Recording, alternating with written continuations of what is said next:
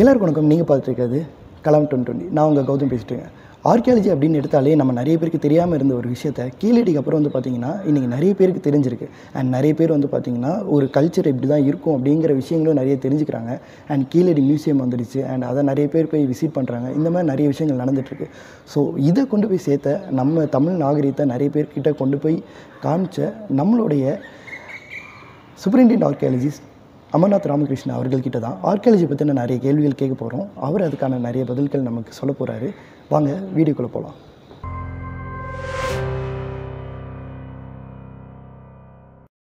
Welcome sir இப்போது உங்களை வந்துட்டு நாங்கள் கீழே இல்லை நிறைய இன்டர்வியூஸில் பார்த்துருப்போம். அண்ட் இப்போ வந்து பார்த்திங்கன்னா உங்ககிட்ட நிறைய ஜென்ரல் நாலேஜாக நிறைய கொஸ்டின்ஸ் கேட்கணும்னு எனக்கு ஒரு ஆசை சார் ஸோ அதனால தான் இந்த இன்டர்வியூ அண்ட் இப்போ ஆர்கியாலஜி எடுத்துட்டோன்னு வைங்களேன் அதில் வந்துட்டு நிறைய பேர் வந்துட்டு இம்ப்ரெஸ் ஆகி இப்போ உங்களை உங்களை இம்ப்ரெஸ் ஆகி நிறைய பேர் வந்துட்டுருக்காங்க ஸோ ஒரு ஹிஸ்ட்ரிக்கும் ஒரு ஆர்கியாலஜிக்கும் என்ன டிஃப்ரென்ஸு ஆக்சுவலி ஒரு காலத்தில் பார்த்தோம்னா தமிழ்நாட்டில் வந்து ஹிஸ்ட்ரி படிக்கிறது ஏன் படிக்கிறேன்னு கேட்பாங்க. அந்த மாதிரி ஒரு நிலமை தான் தமிழ்நாட்டில் இருந்தது.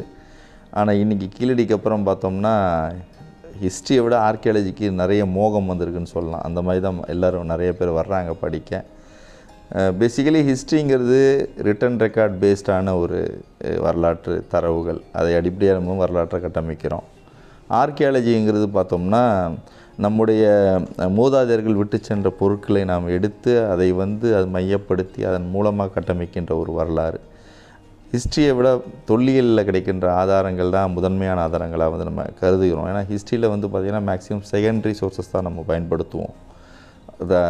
ஆர்கியாலஜியில் பார்த்தோம்னா ப்ரைமரி சோர்ஸ்னு சொல்கிற முதற்கட்ட தரவுகள்.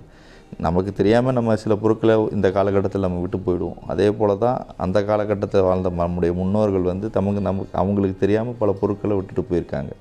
அந்த பொருட்களை எடுத்து தான் நம்ம வந்து அவர்களுடைய வாழ்க்கை முறை அவர்களுடைய நவ நாகரிகங்கள் எவ்வாறு இருந்தது அவர்களுடைய சமூக கட்டமைப்பு எவ்வாறு இருந்தது பொருளாதார நிலை எவ்வாறு இருந்ததுங்கிறத வந்து அந்த பொருட்களை அடிப்படையாக கொண்டு தான் நம்ம வந்து அந்த வரலாற்றை நம்ம உருவாக்குறோம். அது வந்து பார்த்திங்கன்னா ஒரு ப்ரைமரி சோர்ஸாக இருக்கும். ஏன்னா நம்ம எப்படி விட்டு போகிறோமோ அது போல் அவங்க விட்டுட்டு போயிட்டாங்க. அவங்களுக்கு தெரியாது. பின்னாடி வரவங்க எடுத்து அதை எழுதுவானா எழுத மாட்டானா யாருக்கும் தெரியாது. அந்த வகையில் அந்த பொ- பொருட்கள் வந்து முதன்மையான தரவுகளாக இருக்கிறனால இன்றைக்கி உலக அளவில் பார்த்தோம்னா தொல்லியல் ஈடு ஈடுபட்டு அங்கு கிடைக்கின்ற பொருட்களை மையமாக கொண்டு எழுதுகின்ற வரலாறுகள் உலகளவில் வந்து உறுதிப்படுத்தப்பட்ட வ வரலாறாகவும் போற்றப்படுகின்ற வரலாறாகவும் நம்ம வந்து இன்றைக்கும் நம்ம செ- செஞ்சுக்கிட்டு இருக்கோம் அந்த வகையில் வரலாற்றுக்கு மிக முக்கியமாக இருப்பது தொல்லியல் தான் சொல்லணுமே தவிர வரலாறும் தொல்லியலும் பிரிக்கக்கூடாது. வரலாறு என்பது வேறு தொல்லியல் என்பது வேறு கிடையாது. வரலாற்றை எழுதுவதற்கு தொல்லியல் என்ற ஒரு பொருள் ஒரு கருவி இருந்தால் மட்டும்தான் நீங்கள் வரலாற்றை வந்து முழுமையாக எழுத முடியும். அதற்கான ஒரு அஹ், இடமா தான் நம்ம பார்க்கணும் தொல்லியலையும் வரலாற்றையும். அண்ட் இப்போ வந்து பார்த்தீங்கன்னா இன்ஜினியரிங் அண்ட் டாக்டர் இருக்குல்ல சார் அந்த மாதிரி ஒன்று ஃபீல்டு இருக்குன்னா அதுக்கு நிறைய இப்போ நிறைய வீட்டிலலாம் வந்து பார்த்திங்கன்னா நிறைய மார்க்ஸ் எடுத்துகிட்டு ஒன்று இன்ஜினியரிங்லாம் டாக்டர் தான் சேரணும் அப்படின்பாங்க. ஆனால் ஆர்ட்ஸுக்கு வந்து அந்தளவுக்கு ஒரு முக்கியத்துவம் கொடுக்க மாட்டாங்க. அதுக்கு நீங்கள் என்ன சார் சொல்லுவீங்க என்னன்னா இன்றைக்கி இருக்க சமுதாயம் பார்த்தீங்கன்னா பொருளாதாரத்தை தேடி ஓடுகின்ற சமுதாயம். ஜென்ரலி ஏதாவது நம்ம சம்பாதிக்கணுங்கிற ஒரு நோக்கத்தில் தான் இந்த சமுதாயம் இன்றைக்கி இருக்காங்க. அதற்கு மிக முக்கிய காரணமாக விளங்குவது வந்து இன்றைக்கி இருக்க தொ இன்ஜினியரிங் ஃபீல்டும் நம்ம டாக்டர் அதே போல் மருத்துவத்துறையும் தான் நம்மகிட்ட இருக்குது அதில் ரெண்டு பேர் ரெண்டு துறையில் நம்ம படித்தா நமக்கு வேலைவாய்ப்புகள் அதிகம் கிடைக்கும் என்பதற்காக தான் நிறையா பேர் போய் படிக்கிறாங்க. அதன் மூலம் அவங்களுக்கு வேலைவாய்ப்பும் கிடைக்குது. அதை யாரும் மறுப்பதற்கு இல்லை. அது அது ஒரு அது வந்து இந்த காலகட்டத்துக்கு தேவைப்படுகின்ற ஒரு மிக முக்கியமான ஒரு தொழில். அந்த தொழிலை விட்டுட்டு எல்லாரும் வந்து தொல்லியல் படிக்கலான்னா முடியாத விஷயம்தான் ஏன்னா தொல்லியல் என்பது வந்து ஒரு ஸ்பெஷலைஸ்ட் சப்ஜெக்ட் அது எல்லாருமே போய் படிக்க முடியாது. அதில் ஒரு இன்ட்ரெஸ்ட் இருக்கணும். அந்த இன்ட்ரெஸ்ட் இருக்கவங்க படித்தா தான் அதில் வந்து அந்த தொழில் துறைக்கு முக்கியத்துவம் பெறும். ஏன்னா நிறைய பேர் வந்து நாமளும் இந்த தொழிலை படித்தா நமக்கு வேலை கிடச்சிரும். நம்மளும் ஒரு தொழிலாளர் புதுசாக கண்டுபிடிக்கலான்னு நினைக்கிறாங்க. அந்த வகையில் வந்து எல்லாருமே வெற்றி அடைஞ்சிட்டாங்களான்னா இல்லைன்னு தான் சொல்லணும். அது வந்து தொல்லியலுடைய அணுகுமுறையை பொறுத்து இருக்குது நம்ம எவ்வாறு நம்முடைய நாம் எதை சார்ந்து நாம் பணிபுரிகிறோம் என்ற ஒரு தொல்லியலில் நம்ம வந்து சில பார்த்து பார்த்திங்கன்னா இயர்லி ஹிஸ்ட்ரியில் ஒர்க் பண்ணுவாங்க. சிலர் வந்து ப்ரீ ஹிஸ்ட்ரியில் ஒர்க் பண்ணுவாங்க. சிலர் ப்ரோட்டோ ஹிஸ்ட்ரின்னு ஒர்க் பண்ணுவாங்க. அந்த மாதிரி ஃபீல்டு எக்ஸ்பீரியன்ஸ் இருக்கவங்க தான் விடாமுயற்சியில் ஏதாவது ஒரு இடத்த கண்டுபிடிக்கணும்னு நினச்சி கண்டுபிடிச்சா மட்டும்தான் முடியுமே தவிர எல்லாருக்குமே புது இடம் கிடச்சிரும். எல்லாருமே பெரிய ஆட்களாக தொல்லியலில் வந்துடலாம்னா முடியாத செயலாக தான் இருக்குது தொல்லியல் என்பது ஒரு பிரிவு தான். ஒரு கலைப்பிரிவில் ஒரு பிரிவு. வரலாற்றை எழுதுவதற்காக உதவுகின்ற மிக முக்கிய கருவியாக விளங்குகின்ற ஒரு பாடப்பிரிவு தான் நம்ம தொல்லியல். ஆனால் தொல்லியலை வைத்து நாம் வேலைவாய்ப்பு பெற முடியுமான்னா அதுக்கு பதில் சொல்ல முடியாது. ஏன்னா ஒரு ச- இந்தியாவில் தொல்லியல் துறை வந்து மிக பழமையான தொ- தொல்லியல் துறை.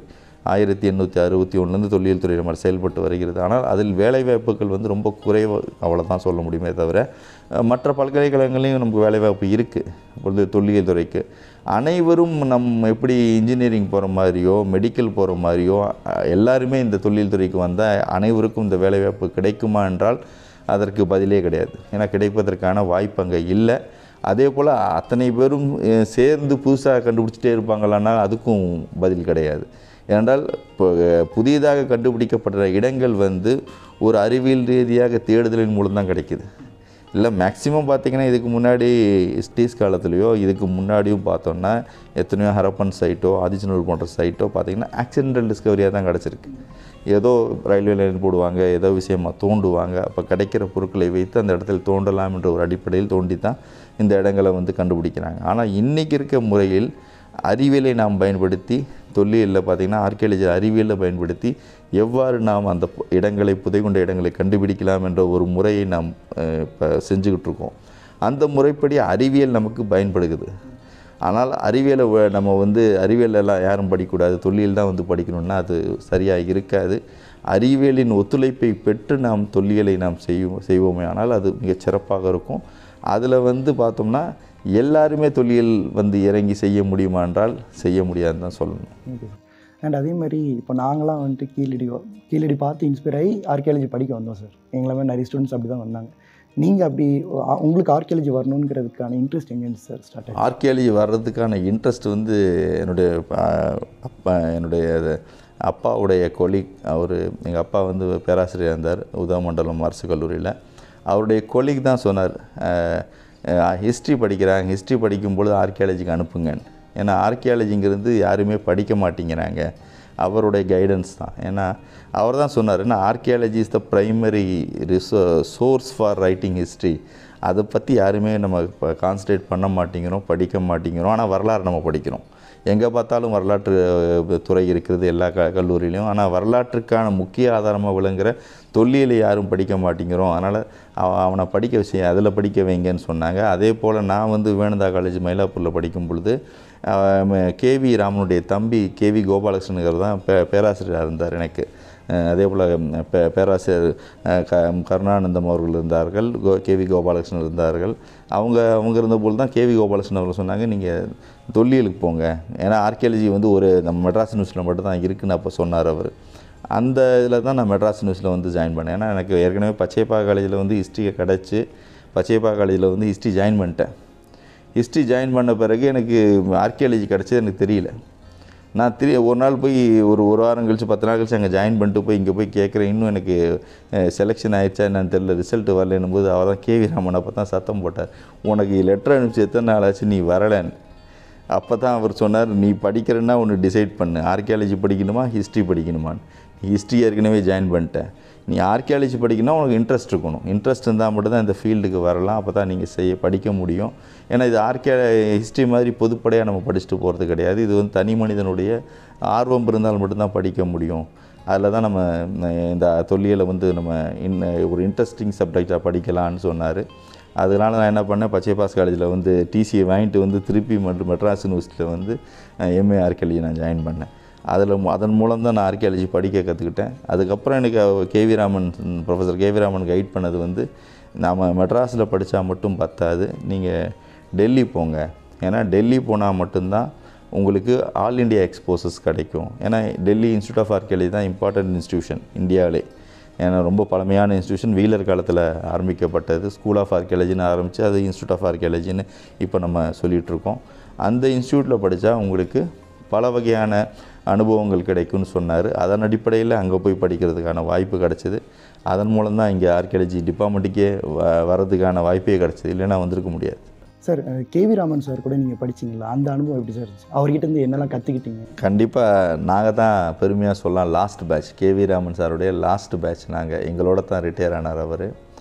அதை பெருமையாக தான் சொல்லணும். இன்னும் அவர் இருக்கிறாரு இங்கே. இப்போ எண்பத்தஞ்சு வயசு இருக்குது அவருக்கு. மிகச்சிறந்த தொழிலாளர். அவர் வந்து முதல்ல ஏஏசியில் தான் வேலை பார்த்தவர். ஏஏசியில் வேலை பார்த்து அவர் காவிரி பூம்பண்டம் போன்ற அகலாய்வில் வந்து பங்கு கொண்ட பெ- மிக பெரும் அறிஞர். தமிழ்நாடு அளவு பார்த்தீங்கன்னா கேவி ராமன் எல்லாத்துக்கும் தெரியும். தொல்லியல் துறையில் வந்து கேவி ராமன் பே பேராசிரியர் கே தெரியும். அதன் அந்த அடிப்படையில் தான் அவர் வந்து சென்னை பல்கலைக்கழகத்தில் வந்து அவர் ஜாயின் பண்ணும் பொழுதே ப்ரொஃபஸர் அண்ட் ஹெட்டாகவே ஜாயின் பண்ணார். அப்போது ஜாயின் பண்ணி இங்கே ரிட்டையர் ஆகிற வரையும் ப்ரொஃபஸர் அண்ட் ஹெட்டாக தான் இருந்தார். அவர்கிட்ட ஒரு அவர்கிட்ட படிக்கின்ற ஒரு அனுபவம் எங்களுக்கு கிடச்சிது. ஏன்னா அவருடைய தம்பி எங்களுக்கு கேவி கோபாலகிருஷ்ணன் வந்து எங்களுக்கு ப்ரொஃபஸராக இருந்தார். க- வேணந்தா காலேஜில் ம மயிலாப்பூரில். அவருடைய கைடன்ஸ் தான் இங்கே வந்து சேர்ந்தேன். ஒரு அவர்கிட்ட படிக்கும் பொழுது தான் ஆர்கியாலஜி வந்து அவர் தான் பிரின்சிபல் மெத்தட் ஆஃப் ஆர்கியாலஜி எடுப்பார் அவர். பேசிக்கலி அவர் தான் ஃபஸ்ட்டு ஃபஸ்ட் இன்ட்ரோடக்ஷனில் சொல்லிக் கொடுப்பார் ஆர்கியாலஜி எப்படின்னு.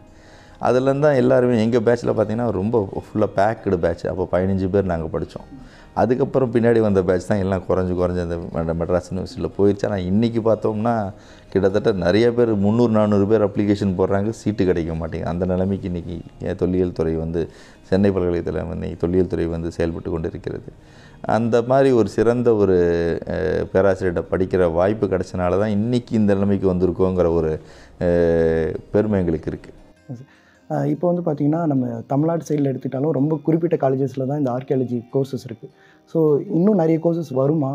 இல்லை வர ஆர்கியாலஜி கோர்சஸ் கொண்டு வரலாம் பட் அதற்கேற்ற வேலை வாய்ப்புகள் வந்து டிபார்ட்மெண்ட்னால் கொடுக்க முடியாது. இது ஃப்ரீ ஃப்ரீலான்ஸாக வேலை பார்க்க முடியாது. இதென்றால் ஒரு முறைப்படுத்தப்பட்ட ஆய்வு. ஏன்னா மத்திய அரசின் அனுமதி இல்லாமல் நீங்கள் பண்ணிங்கன்னா அது இல்லீகலாக போயிடும். என்றைக்குமே மத்திய அரசின் சட்டப்படி பார்த்தீங்கன்னா மத்திய அரசினோட அனுமதி பெற்று தான் நீங்கள் ஆய்வுகளெல்லாம் செய்ய முடியுமே தவிர நிறைய பேர் தமிழ்நாட்டில் பண்ணுறாங்க எங்கள் அந்த கண்டு அதை கண்டுபிடிக்கிறோம் இதை கண்டுபிடிக்கிறோம். அனைத்தும் வந்து ரெக்கக்னைஸ் ஆகிறது கிடையாது. அதற்குத்தான் முறையான முறையில் அந்த கல்வியை பயின்று அவர்கள் அதற்கான தேர்ச்சி பெற்று அந்த துறையில் அவங்க பணி பணிக்கு சேர்ந்து அந்த ஆய்வுகளை மேற்கொண்டாங்கன்னா கண்டிப்பாக அதற்கான கிரெடிட் வந்து அவங்களுக்கு கிடைக்கும். மதிப்பு அவங்களுக்கு கிடைக்கும். அதை விட்டுட்டு நம்ம நம்ம எல்லாருமே போய் ஆர்கியாலஜி படிக்கலான்னா முடியாது. ஏன்னா இன்றைக்கி தமிழ்நாட்டை பொறுத்தளவு ரெண்டு காலேஜ் தான் இருக்குது ஆர்கியாலஜி ரெண்டு யூனிவர்சிட்டியில் தான் இருக்குது தமிழ் யூனிவர்சிட்டி ஒன்று இருக்குது மெட்ராஸ் யூனிவர்சிட்டி மெட்ராஸ் யூனிவர்சிட்டி தான் ப மிகவும் பழமையானது. கிட்டத்தட்ட ஆயிரத்தி தொள்ளாயிரத்தி அறுபத்தி ஒன்றில் ஆரம்பித்தது தமிழ் யூனிவர்சிட்டி இப்போ ரீசெண்டாக தான் ஆயிரத்தி தொள்ளாயிரத்தி எண்பதில் ஆரம்பித்தாங்க அதை விட்டால் இன்றைக்கி இப்போ எல்லா காலேஜஸ்லேயும் அலைடு சப்ஜெக்டாக கொண்டு வர்றாங்க ஆர்கியாலஜி அது ஒரு வகையில் நல்லது தான். ஏன்னா ஆர்கியாலஜியுடைய நாலேஜ்னு சொல்கிற அறிவு வந்து வரலாற்றுத்துறைக்கு தேவை. வரலாற்றுத்துறை தொல்லியல் இல்லாமல் இயங்க முடியாது என்ற ஒரு நிலை இன்றைக்கி இருக்குது ஏன்னா தொல்லியல் என்பது முதன்மையான ஆதாரமாக இன்றைக்கு கருதப்படுகின்ற காரணத்தினால் எல்லா காலேஜ்லேயும் இது போல் ஒரு அலைடு சப்ஜெக்டாக ஆன்சிலரி சப்ஜெக்டாக கொண்டு வந்து அதை இன்ட்ரடியூஸ் பண்ணும் பொழுது தான் நம்ம ஏன்சியன்ட் அறிக்கை ஹிஸ்ட்ரியை பற்றி நம்ம ஆய்வு செய்வதற்கான ஒரு வாய்ப்பு ஏற்படும்.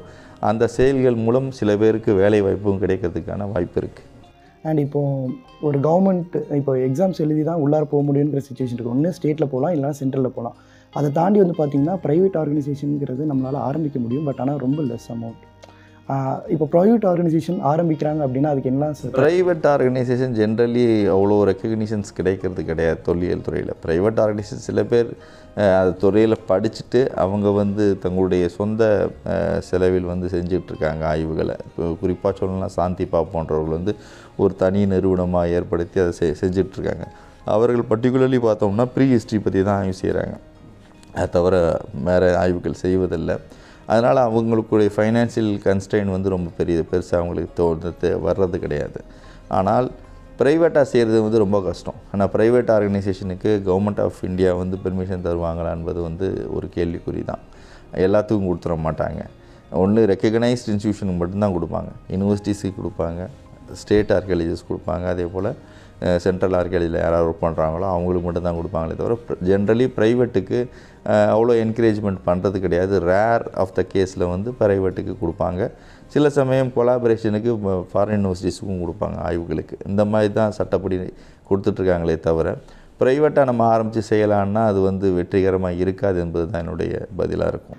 இந்த வீடியோ உங்களுக்கு பிடிச்சிருந்துச்சுன்னா லைக் பண்ணி ஷேர் பண்ணி லவ் பண்ணி மறக்காமல் சப்ஸ்கிரைப் பண்ணுங்கள் தேங்க்யூ லவ் யூ ஆல்